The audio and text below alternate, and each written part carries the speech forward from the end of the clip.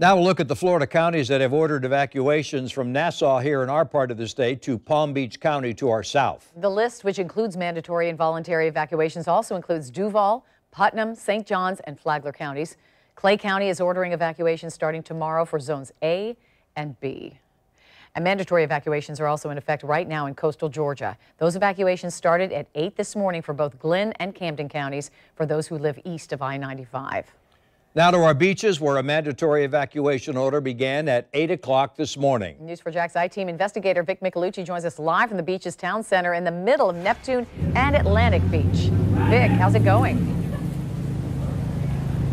You know, Mary and Tom, it's a great night. It's actually really beautiful. You got a nice breeze. The rain has gone away. But don't be fooled. That's what experts here say. Look, you got people, they're out and about, they're having fun, they're enjoying themselves in what's probably their last night of good weather here, but people are prepared. Most of the businesses are boarded up or they have some sort of tarp. We've got sandbags here. This is North Beach Fish Camp, normally packed at this time of day. Other restaurants are open, but they plan on closing a little bit later this evening, some 8 o'clock, some 10 p.m. Now, I want to show you some video we shot not too long ago. This is a couple hundred yards from where I am standing. It is the berms. These are berms right in between Atlantic Beach and Neptune Beach. Giant sand dunes, normally where the lifeguard trucks and the police vehicles can come and go.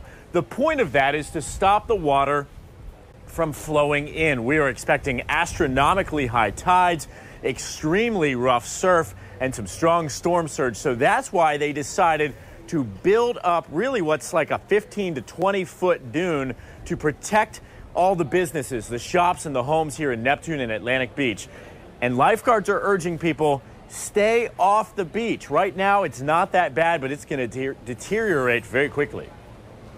We're also getting a swell from a high pressure system, so it's, it's kind of like the perfect storm, and it's just not advisable to be out there at all. You're really putting your life at risk. All right, so we're back out here live. You can see some of these restaurants have large crowds because there's fewer and fewer places to eat or drink.